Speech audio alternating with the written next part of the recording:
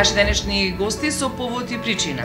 Сдруженијето на жени Преродба и би сакала да ги представам дамите кои што ни се денес наши гости. Лилјана Ѓоргиевска, председател на Сдруженијето, Менче Милошевска, здраво живо, како сте?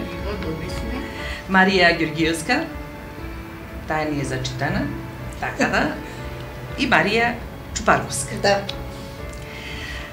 Повод и причина е а, еден убав јублеј, 15 години од постојањето на Сдруженијето Преродба, Сдружение кое што се грижи пред се за одржувањето на традицијата во секој сегмент.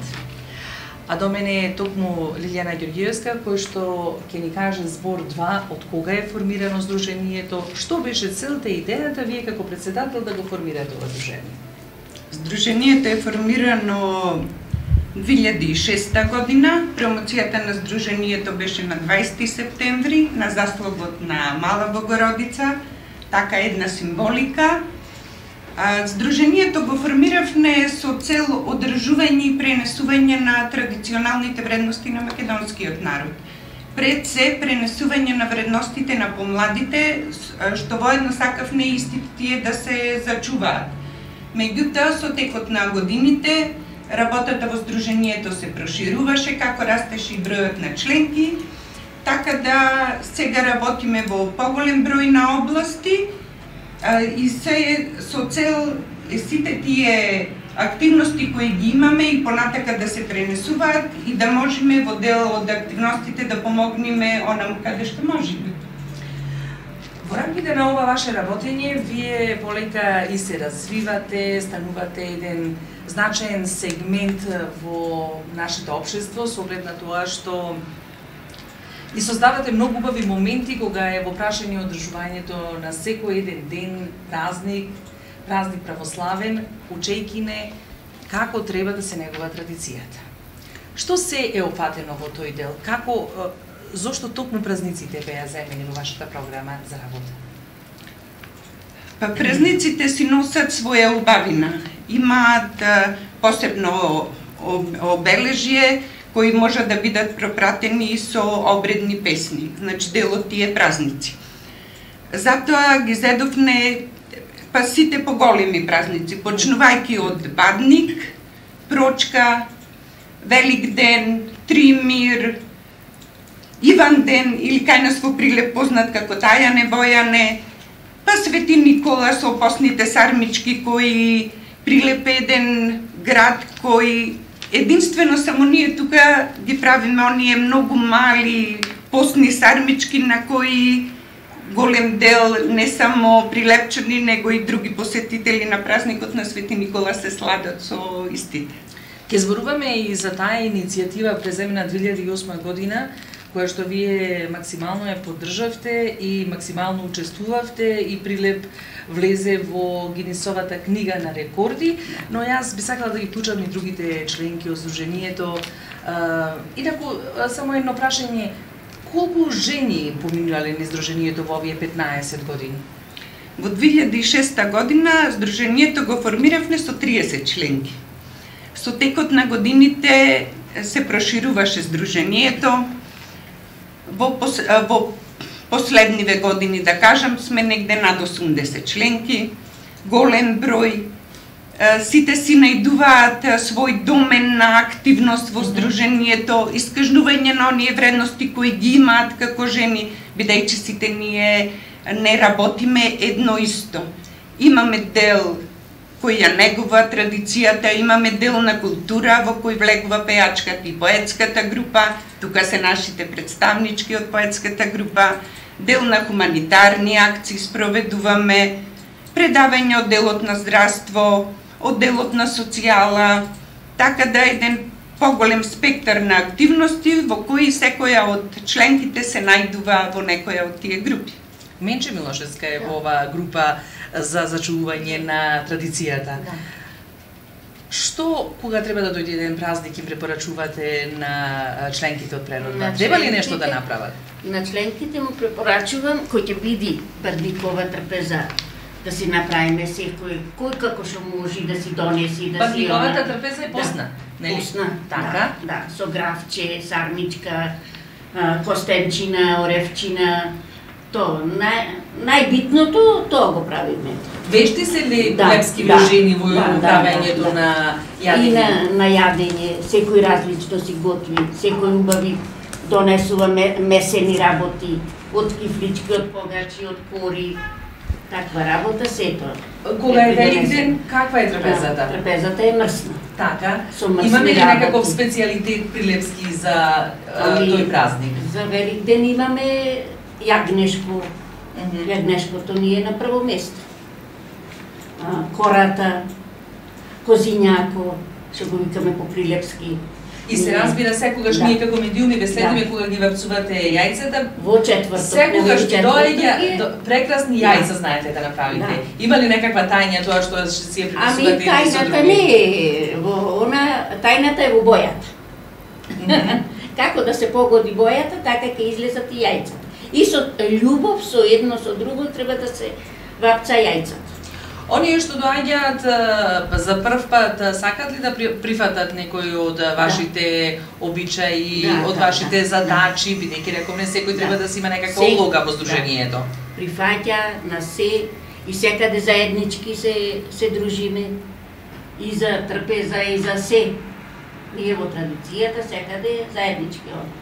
Така, не е само храната, Да. се разбира традицијата, Да, да. традицијата опаѓа Да. и посета на културни споменици, да, па да, потоа да. посетувате предпоставувам и Посетуваме манастири, онаму одиме. каде што Да, се негува да. традицијата. Да, да, да. И во Мокриево пише бевме за поручка за Василица, тоа е за Василица во она во Мокриево. Учествувајќи Да. со некој перформанс, Да, предпоставувам. да. И тоа ни состави колешкава Марија Ѓорѓиевска, многу убава монодрама. Ние изведовме како карневал, да бидиме по поактивни. И таква е, значи, Да, соработката. да, да.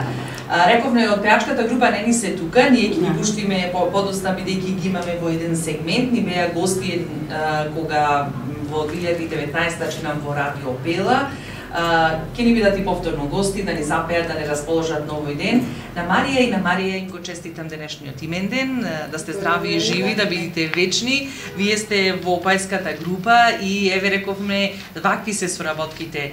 А, сакаат ли а, од преродба дамите да слушаат поезија? Марија? Тоа го направивме неколку пати. Мгм. Секако по инициатива на, на жените кои веќе доз, дознаа колку имаме ние песни напишани и колку изведби имаме направено.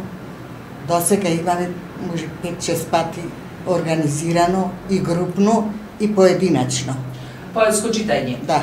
Има ли многу а, поетеси, жени кои што сакаат да пишуваат поезија во Има, преродба? особено кај нас во Прилеп има многу. А во преродба доаѓаат И во ли? преродба доаѓа со од доаѓа кај нас исто да чита, а ние сме две во нашето здружение.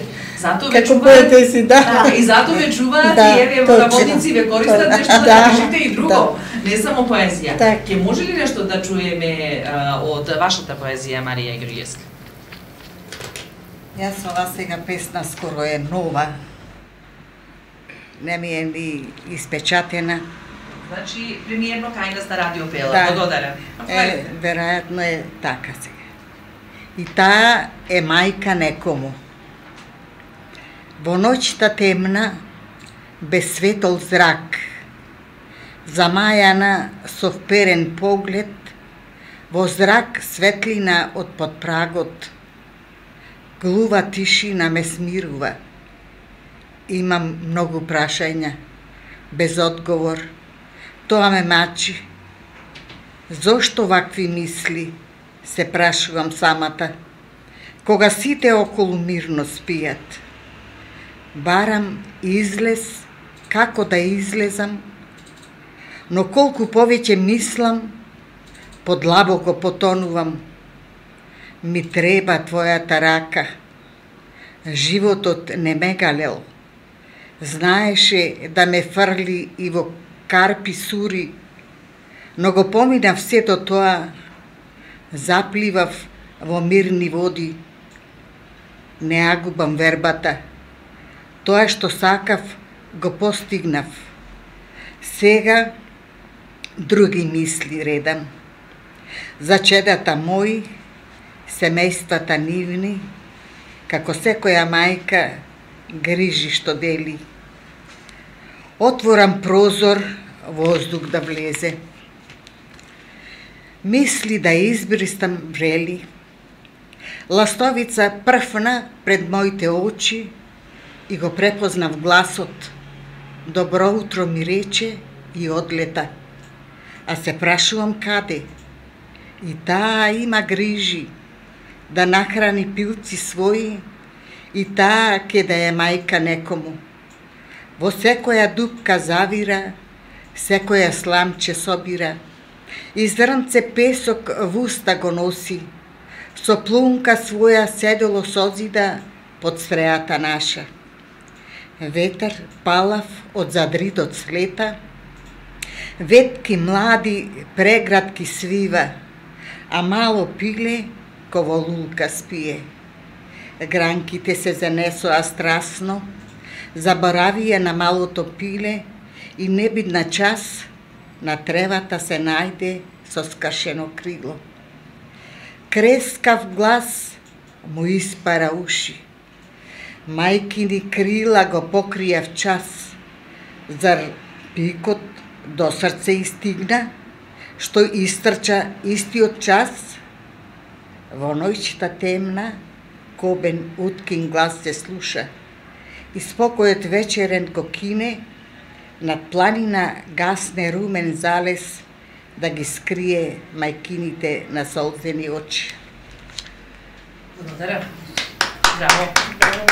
А, ова е некако песна како за денешниот ден, за мајка, бидејќи Е. денеска е ден на Да. заштита на жените, Да. на мајките и Да. така натаму. Е, па, си дојде како наместо. Да, ви благодарам. Ви благодарам што ја споделивте со нас, со нашите слушатели на Радио Пела, со оние што не следат сега на Facebook страната, што ни со оние што не слушаат во странство на нашето интернет радио и верувам дека со сите оние кои што сакаат да го гледаат радиото што се гледа, така не се вика емисијата, бидејќи се гледаме. А, треба да. Марија, а, Марија, јас би сакала да слушнам и нешто и од вас ако а, имаме подготвено Да, нешто да. што верувам дека ќе ги разнежни срцата на оние што не слушаат, следат. Јас сум милувајне. Чекориме додека сонцето тоне подлабоко на небото. Сребрените зраци се поостри, понеиздржливи. Нежен допир ја разбудува радоста. Нашите души како едно свиено стебло треперат. Треперат од топлината на денот. Твоето лице сјае. Посегам по тебе, ти ја допирам твојата дланка, нежни мигови на љубовта, чувствителна, чиста. Дојди, дојди утринска светлино, со своите меки зраци, разбуди ја љубовта, што постои за секогаш, вечна како звездите. Солзите течат по образите, а ние пловиме кон небото. Треска од страв, од демоните. Тивок плаш, плач во лицето со рацете. Камбаните ке почнат да бијат. Крадецот само што не пристигнал. Живееме еден цел живот во тие последни мигови што не остануваат од животот. Телото тромо, остарено. Жарот што останал од поранешните огнови, ќе згасне во миг, ќе се претвори во пепел. Ветрот ќе ја разнесе, ќе проникне во почвата. Магија на вистинската трајна љубов, по оној незгаснив премин меѓу срцето и душата, староста и младоста, по која трчаме, мечтаеме, безумени. А таа се одвоила, сенка студена оставила, во малечко кутивче младоста затворена. Во некое време ќе исчезне, ќе потемне, ќе се заборави. Па ти Лиле си имала бисери во твоето здружение? Да. Па издруженијето ние бисер јасно.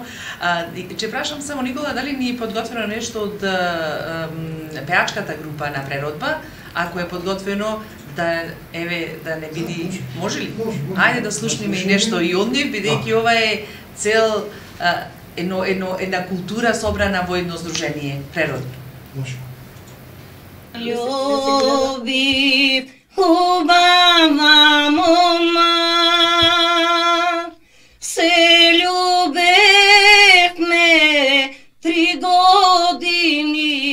торе, докторе, легна мома, се разболе. Се љубевме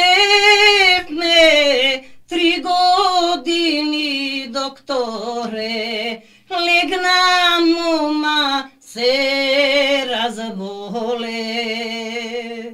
Болна лежи и ме докторе, да е копам силен отров. Ова срце не ми дава, докторе, моето ливе да го отројам. Ова срце не ми дава, докторе, моето ливе да го отројам. Ако ми ја излечиш, докторе, многу злато ќе те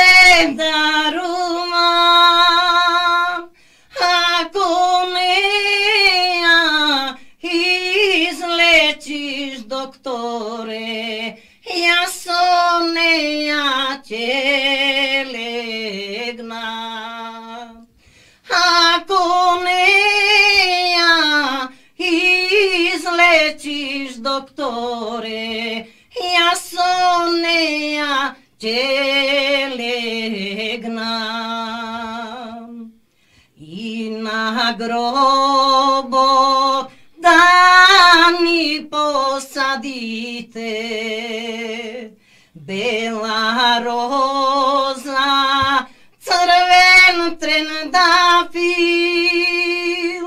i na kamen od dani napišete ljubov tu kad počela. I na kamen od да ни напишете љубов тука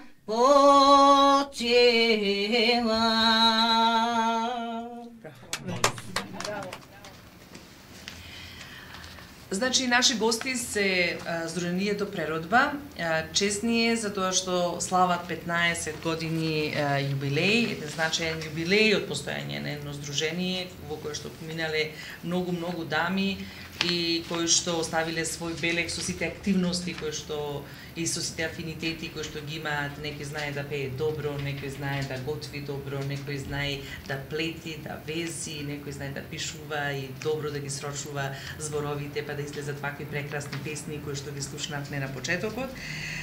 Но преродба е позната и по тоа што учествува на голем број на манифестации. Една од позначањите кога што мене ми остави впечаток бидејќи ја следев тогаш како е, дописник на редакцијата на BBC на македонски јазик е токму е, изготвувањето на Свети Николските сарми 2008 година кога баш жените од преродба сите 80, 50 или колку беа во тој состав а, успеа да направат еден рекорд кој што ќе остане вечно забележан. Не знам дали е срушен, Лиле, како Не. сето тоа беше, каква идеја беше, зошто, како успеавте, колку дена тоа се работеше, како успеа жените сите да бидат толку истрајни и да успеат да го совладаат Гинесовиот рекорд. Виткањето на посните светинковски сарми почна во 2006 година. А 2008 година беше постигнувањето на Гинсовиот рекорд бевме поканети како здружение од локалната самоуправа на општина Прилеп, во која покрај нашето здружение учествува и други женски здруженија, меѓутоа и припаднички на политичките партии. Така да заслугата е на сите жени на Прилеп. А, носител на овие активности бевме ние како преродба, меѓутоа пак ќе напомнам дека сите жени од Прилеп беа дел. Сета таа работа, сето тоа постигнување на Гинисот беше врзано со време. Значи за 24 часа требаше се да се сработи од сечење на оние малите ливчиња, од виткањето на сармите, од варењето на сармите, она се да биде за 24 часа готово и да биде буквално поставено на маса. А, таа година се свитка 80.191 посна Свети Николска сарма. До денес тој рекорд не е соборен и мислам дека нема, бидејќи само ние во Прилеп виткаме такви многу мали сармички, па во големина на лешник. И тоа беше спецификата, така? Да, точно така. Беше изненадување за представниците кои беа дојдени од странство за да ни ја додела таа награда на Гинис, кога ги видоа колку се ситни. Едноставно прашаја со каква машина се работат кога му покажавме дека тоа го работиме со со раце, едноставно беа фасцинирани од од сето она што ние с него постигнале. И годините понатака, значи следните години, како здружение сме биле секако дел на овај настан во виткањето на сармите, па се до 2019 година пандемијата си го направи своето. Направи прекин, но верувам Да. дека животот ќе продолжи. Ние се надеваме дека а, кога ова пандемија би се смирила, би продолжило и понатака ова одбележување на Свети Никола со сите оние адети што ги имаме и навистина беше прекрасно. Не само за Прилеп, него и гости од цела Македонија имавме на тој неделен да, да. да, ручек Свети Николски. Колку дена ги работевте? 24 часа. За 24 часа Да, се, се да, направи со да. колку жени вкупно тогаш активни? Па мислам некаде 102-30 жени. Да. Дали некој од овие дами тогаш присуствуваше на на Да, да, Да. по Да. да. току присуствувавме. Да. од првиот пат. И после секоја година, кога се права сарми, јас сум тука. Тука. Па тоа е едно доживување, Да. со песна да, и песна да, и со... точно, тоа е доживување. Така, Со песна и со работа. така. Полесно се Да, сето да, се да, се да. се споделува Да. на крај на крајот на краиштата. Но се разбира дека има и други манифестации кои што природба зела учество. Еве кажавте една од манифеста- манифестациите Прочка, настапивте со свој перформанс, потоа беше тоа во Мокрино, нели? Криево. Во Мокриево. Мокриево. А, Ајде, ајде, помогнете ми, од јас Да, не знам многу. Мокриево. Имавме во годините три карневалски точки, не знам точно која година беа. Учествувавме на нашиот карневал во Прилеп, на Прочка, меѓутоа и на двата карневали во Мокриево, тоа е Струмичко, и во Куратица, тоа е Охридско.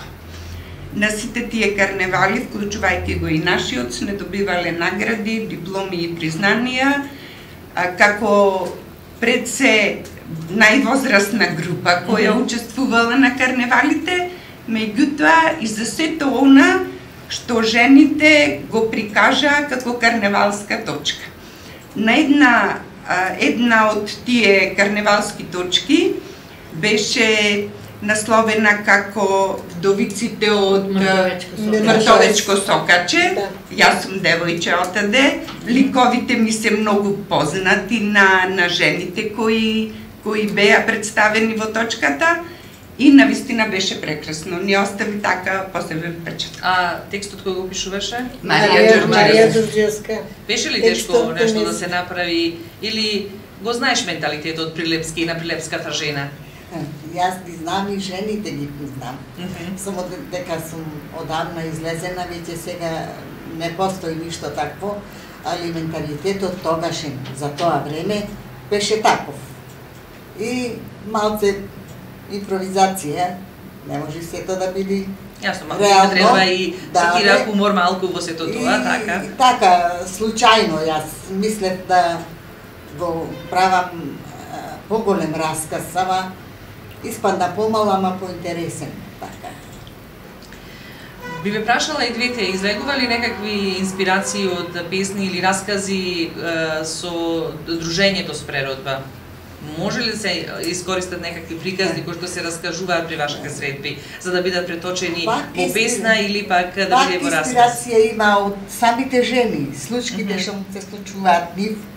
Еве јас, например, за Кате, кога ја напиша песната, така некој потрогателни оти песна не можеш да пишуваш некоја весела, радосна.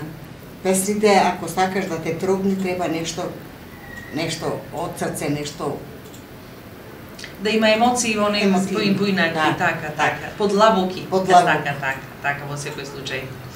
Но, а, вие учествувате и на низа други манифестации, манифестации поврзани со присуство кога треба некаде да се запее, да се заигра, а, правите добро расположение и ве канат бидејќи искрено и пеачката група е една од а, тие кои што вака е активна во рамките на вашето здружение. Да, да, пеачката група беше доста активна, сега малку имаме пауза. Меѓутоа, еве ова лето учествувавме активно на две покани и тоа на празникот Свети Петар и Павле во село Подмочани на манастирот кој го носи исто името, каде настапи пеачката поканите за група. наредната. И Само На Света годинава недела не во оти Оровни. ние сакаме, па и Таму и да традиционално учествуваме веќе неколку пати. Таму си порача песна која сака Да, па да, да се испее. Тешко мина докторе. Да. Богате ве рековне 40 Бидејќи на кои за истата песна на Дамјан Стојановски е снимен на овој манастир, значи од домичините беше порачена и таа песна. Минатата година учествувавме во Распеана Меана, Весела Да, Меана, Така, така. Мерак Меана, Така. дека Распеана и Мерак Меана, така, да. Исто имавме покана од организаторите на, на овој музички настан, така да прекрасно си поминавме. Требаше и минатата година во октомври да одиме повторно, меѓутоа ги се одложија работите од оправдани причини. Меѓу јас ќе прашам кога е во прашање традицијата, една од традициите е и тоа да а, се чуваат а, старите килими, бидејќи сега и не се прават повеќе килими, се- да се вези, не. да се плети. Ги бараат ли работите кои што ги има собрано како материјал а, преродба за одредени настани? Да. Еве, ја, мене ми е познато дека обично на долденските средби Да. бараат Да, да, да, да да. погледнат што ви имаме. тие- Така. тие Има ли такви материјали? Да, имаме ние, од секоја жена донесла килимче, донесла дипле и ги чуваме сите во канцеларијата и кога ќе излезе доленските стегби, што се вика на друго место, тие си ги носиме. Сите реквизити со нас ги носиме. Има ли некогаш, имало ли некогаш моменти кога сте седнале да пеклите заедно или да везите заедно? Имало, Да. имало, имало. За да се надополни некое парче кое што недостасува? парче, да се надополни нешто дипленце недостасува за овде, за онде и вака собрани и ќе плетиме. Се запазува ли а, македонскиот народен вес? Да, се запазува. Важно ли е, важно Да. ли е тоа? Тоа е најважно. сега, ка- Најважно е сега, или сега младите не везат. Сега ние постарите уште сме и везиме, плетиме се, али младите Ќе се зачува ли традиција. Е, Е, сега ако сака, да. традициите од некогашните? Ако сака младиве, ќе зачува, ако не, Како Тоа се останало од некогаш се вади, а сега ново Многу е Тешко ли, тешко ли младите сак, да сакаат да научат нешто од она што е традиционално македонско? Зборувам и за и обичаите, Да, да, и да. за готвењето, кулинарството, зборувам и за плетењето, зборувам и за везењето и така натаму. Сакаат ли младата популација нешто да восприеми од она што го нуди природата, бидејќи сепак треба да има и наследници во вашата организација? Кајде можеме сите да дискутираме? Еве да си кажам и јас. Мојата черка за плетење и за везење не сака да слушне. Бидејќи мама уште плети и вези. Меѓутоа за готвењето, дел од празниците, за Велик ден секако јагнешко месо, вапсува јајца. И тука ко беше, таја ми помагаше во вапсувањето на јајца. Значи се одржува традиција. Да, така. сега не е тука, е на Малта веќе четврта година. Меѓутоа, кога ќе си дојде во Прилеп, одма си купува боја за јајце да има за наредната година. Секој велик ден вапсува јајца. Најинтересно беше првите две години кога работеше во продавница, бидејќи таму за велик ден, католички велик ден го слават и си подаруват оние киндер јајца со играчка. Мгм. А таа знам дека првата година вапса негде 150 јајца, па сите оние пријатели кои ги имаше, да кажам, поблиски се ги викна и на ручек да му објасни како ние го празнуваме Великден. Другите јајца ги однесла во продавницата во корпа, се она аранжирано како, како кај нас тука шо е, и прашувале зошто вака.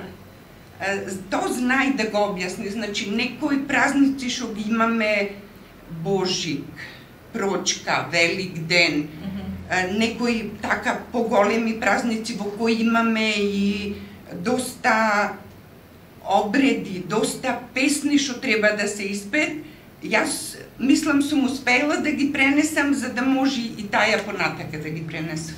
Тоа ми е така како мелем во душава што сум се потрудила и сум нашла добра почва да да се продолжи негувањето на традицијата. Се радеа така и во вашите домови, на Да. останатите. Да, Секако.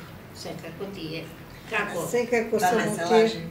Плетени вези, само плетени вези не ради да. по фиоките може да сто.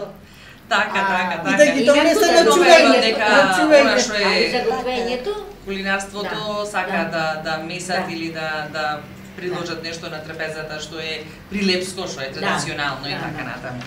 Но ајде да почнеме повторно Ајде. да продолжиме со некоја Еве, убава за хуманитарната не спомнаја, исто имаме дали таква организација. Јас една инспирација имав исто за немаштијата, сиромаштија изгорела, кујче нешто се сторило, некој останал сам. Јас имам нешто за тоа напишано за хуманитарна, мислам дека Да, има. кажавте нешто. Да. ќе кажеме и Да. повеќе со на тоа што малкумина знаат. Е, и немаштија. Огништето незапалено. Дрвата в планина останаја. Нема кој дрва да донеси, нема кој огниште да запали. Прозорците се искршија, вратите се раскостија, студот слободно навлегува, од сите страни повредува. Студот в коска се, се зарива, а мислата те обезхрабрува. Празна трпеза остана, ветрот и солта ја одвеа. Лепчето суво с каменето, со вода ќе го топи, и водата скаменета. Мраз студен в уста стави и очи затвори. И мразот цел остана. Не го стопи душата студена, студен камен и душата. Од студот, од зимата, од немаштијата. Од студот, од немаштијата и смртта силен замав зеде и една душа однесе од зимата, од немаштијата, од сиромаштијата.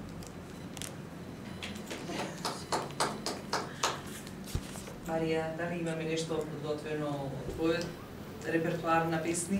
Дали може неколку збора само во делот на хуманитарните акции, бидејќи... Во Да. на ова. Јас сакам да Да. ја прашам, ам, реков да да слушнеме и некоја повторно убава песна што ја имаше подготвено, што ја има подготвено Марија. А, Сакам да ја но да, а, малкумина знаат за вашите хуманитарни акции. А, Ние хуманитарните акции ги спроведуваме без многу најави и без многу сликања. Та, така ни останало во душата, дека она што го даваме не мора секој да знае. Може би погрешно ни е нашето мислење, ама ние така ги правиме акциите. Имаме посебна група. Сите овие години традиција ни е два пати во годината да носиме облека, обувки, постелнина во заводот во Димир Капија. Таму сме многу добро прифатени. Еве последните две години и ни се најавија, бидејќи со пандемијата имавме мало застој, ни се, ни се јавија дали планирате да донесите хуманитарна помош. Секако тоа значи не оставаме, а и тука во семејство. Или за празниците, за Божик, за Велик ден. Сите што велиме не носиме по гробишта, не знам што и како. Оначе го дајме поголемо нешто во семејство и за душа за починатите, меѓутоа и за помош на оние каде го носиме. Во последниве години сиромаштијата чукна па скоро на секоја втора врата. Сакале да признаеме или не, навистина е така. Гледајќи ја сета таа ситуација, а имајќи во предвид дека пред се нашето здружение е хуманитарно, ние решивме сега да се насочиме кон тој дел. Не можеме многу да помогнеме, меѓутоа од она што го имаме, секако ќе одделиме и ќе дајме хуманитарно во оние семејства каде навистина им е најпотребно. Да, колку и да се дава, значи секогаш е недоволно тоа, но убаво е да им се помогне на луѓето кои што Да. пред се бараат храна. Она што го подготвувате традиционално, а, паметам кога ќе не поканите Да. како медиуми, вие го донирате на луѓето Да. што бидејќи количински многу големо и не може да се изеде Да. сето тоа што вие го подготвувате, а секоја дама сака да донеси нешто изработено од а, своите расе и тоа е еден дел помош кога станува збор за празниците. А, верувам дека ќе продолжи таа нишка, Секако, бидејќи секако. таа е една од најблагородните, јас би рекла, Да. од сето она што го работи Сдруженијето Преродба, но се разбира потребен е и дух. Да. А поезијата ни дава одреден дух. Марија, повелете. Сеќавање и тага. Сеќавањето е само миг. Одлетува како здивот на морскиот воздух, што го носи ноќта низ затворените прозорци, како и годините на животот. А другите остануваат да стојат како дел од човекот за секогаш. Такви сеќавања не поминуваат лесно. Стануваат сенка што следи, сенка со некогаш со потемна, понекогаш со среќна боја. А тагата никогаш не е иста. Има неколку лица и опачини, но секогаш расте и се обновува. Буи како река надојдена, полетен топол дошт, ги валка по своите брегови, старите сеќавања, новите стравови, бившите животи и смрти. Сето она што ја заобиколува браната на нашата равнодушност и избегна во длабоките кајнони. На спомените на нашиот живот што го излабдла болката. Ова е сеќавање, значи, за тагата и и сеќавањето. За тагата и сеќавањето. Напиша на кога? Напишано е на оддамна. Многу оддамна е напишано. А не ни е испечатено. Оваа книга ми е сега нова, на незе сите ги пишувам, ми доби прва награда, затоа ја прочитав. Јас само да кажам дека 076 802 595 е нашиот телефон.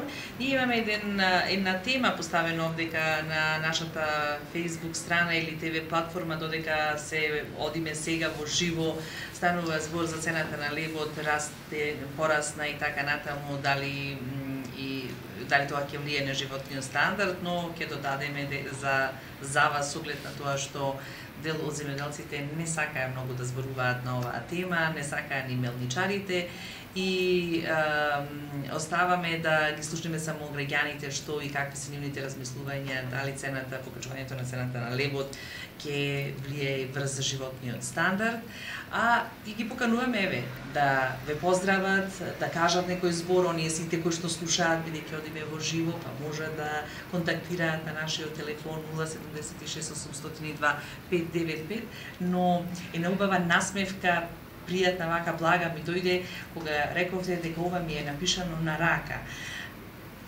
Ги пишувате на рака ли песните? Да, да, јас. Или на компјутер?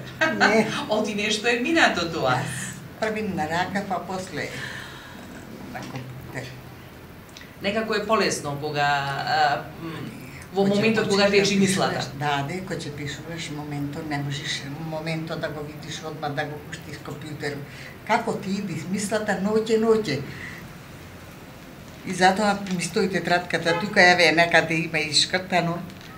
Како ќе ти дојди па да го средиш, па да го комплетираш, па после на компјутер. 15 години здружение, 15 години многу а, а, Благодето сето она што вие постоите со оглед на тоа што пак ќе речам ние ја зачувате традицијата, не подсетувате на неа и ние како луѓе или ем, едноставно ако не сте вие нема никого да прашаме за традицијата.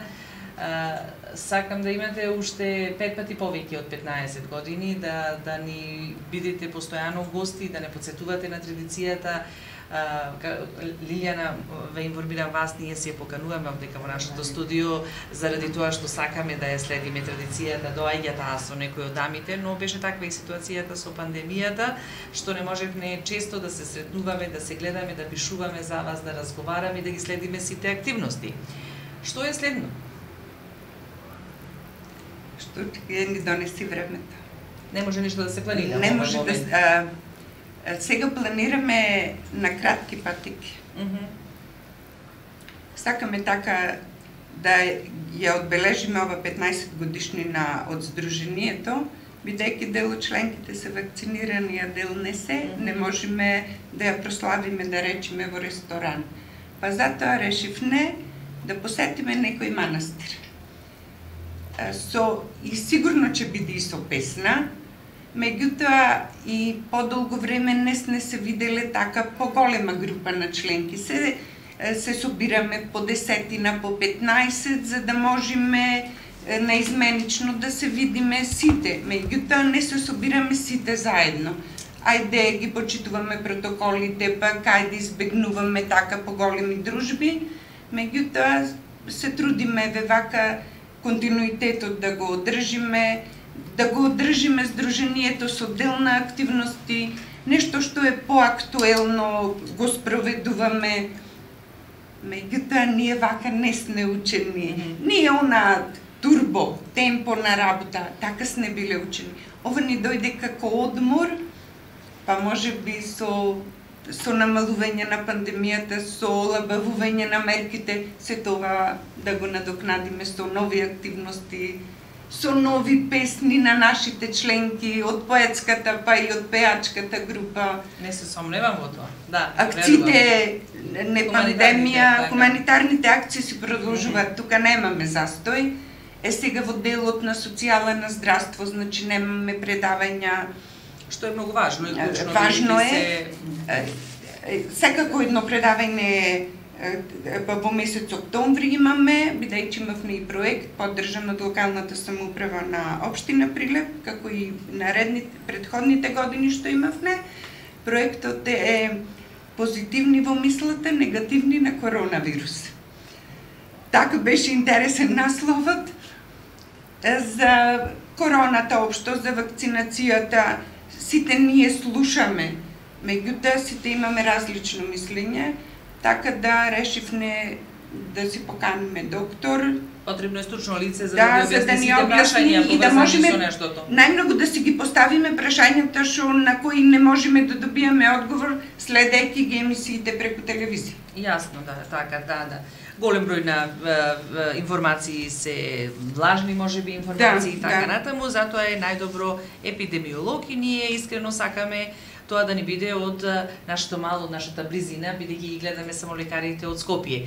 Ќе ве прашам, сите поединачно би сакала да ми одговорите, што вам ви остави најголем печаток? Имате се некаква анекдота сигурно од 15-тото годишно дружење со природба или не е битно колку сте членови, колку време членувате? Ајде менче, што вака најубаво ти е во природба или што најмногу ти недостасува?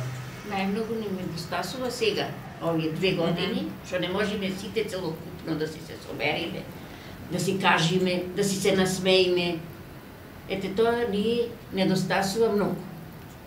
А друго што е најубаво вака што ти оставило печаток? Кога сите ќе видиме заеднички, Мгм. сите на заеднички ќе си прошетаме, ќе си се дружиме. Ете тоа ни е беше најубаво. Да се врати тоа. Да. Да се врати тоа. Ете. Мариче. Само времето да се врати точно, Мгм. кога бевме сите стабилни, кога не мислеме на лоши работи, кога не мислеме на болест, мислеме за нешто да створиме, да направиме, да унапредуваме во општеството. А сега сме затворени. Сега сме поништени. Губиме животи. Тоа не е за играње. Јас изгубив член Никогаш не можам овие години да ги заборам и оваа година. Така, ама неопходна е социализацијата и Сепак- дружбата со луѓето. Да, Но сепак, треба сега и по, е, малку повнимателно. Така е, така е. Че гледаме пак да се дружиме и да видиме со добри мисли. Марија. Секогаш ни било убаво кога ќе бидеме сите собрани заедно. Само сега како што дојде ова време во лошо и многу жалиме што ни погинаја и наши членки од нашето друштво. Се потресовме сите. И затоа сето расположение ни се уништи, што не можеме кој ќе се собериме да запееме, оти знаеме до вчера ни биле тие до нас и тие биле присуствувале и тие пеле и тие играле заедно со нас. Планирале, Само изгледа и дружеле, така. времето кој ќе помини, времето се лечи, како што доаѓа времето, така и самите ние ќе си организираме и нови нови активности некои. Не само овие, Да, сигурно. Па да викаме гости, па да имаме поетски читања поќе. Тоа мене ми е...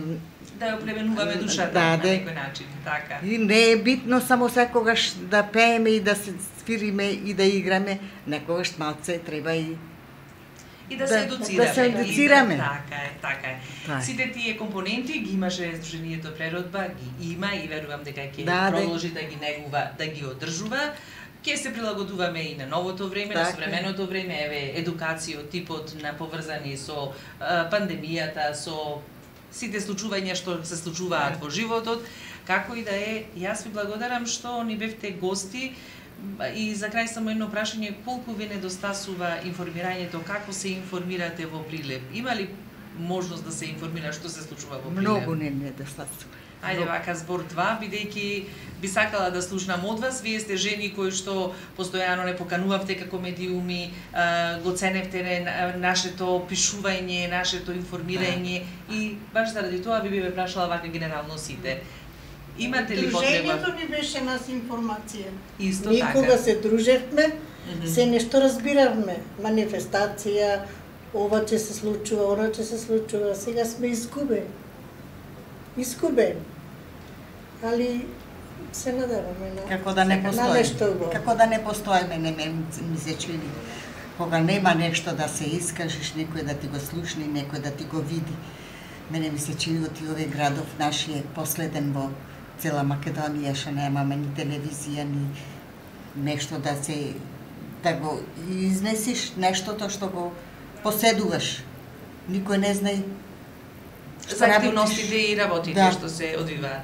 Се надевам дека ќе биде на подобро. Јас ви посакувам, велам уште пет пати по 15 години, ле да си здрава и жива, да го крепиш Сдруженијето како председател на Сдруженијето, да ги водиш овие дами во сето она што е испланирано и што го прави Сдруженијето преродба, а ние како медиум ќе продолжиме понатаму да ве следиме и да ги едуцираме граѓаните преку вас за сите традиции и обичаи на македонскиот народ, за сето она што вие го работите, да му го доближиме и ете заедно да помогнеме во нештото да го одржиме.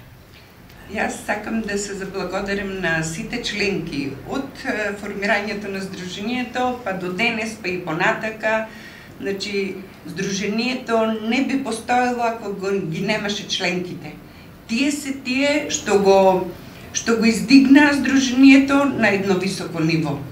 Јас како председател само надополнувам со дел на знаењето она каде што можам да помогнам. Меѓутоа, носители на Сдруженијето се сите членки.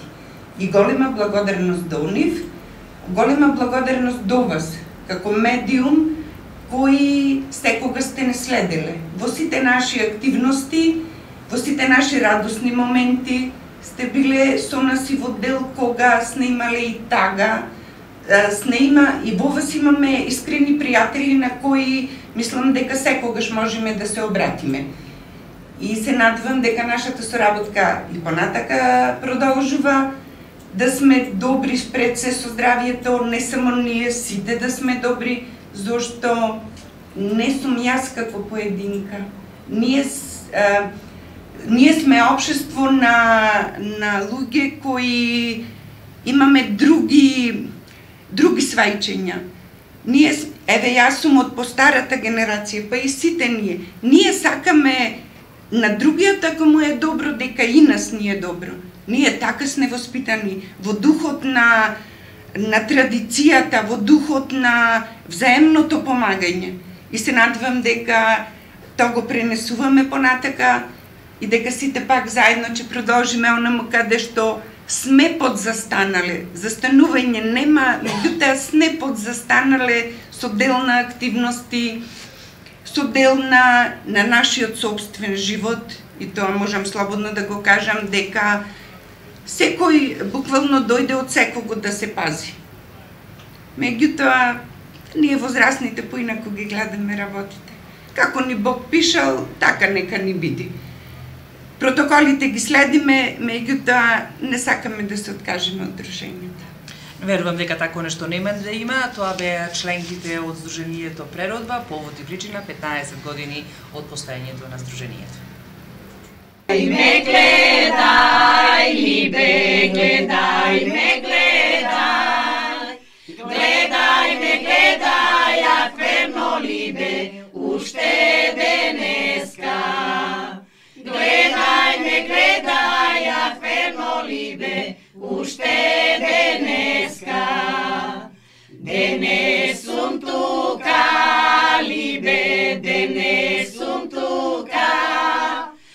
Bene sunt tu ca fernolibe, che oda. Bene sunt tu ca fernolibe, che oda.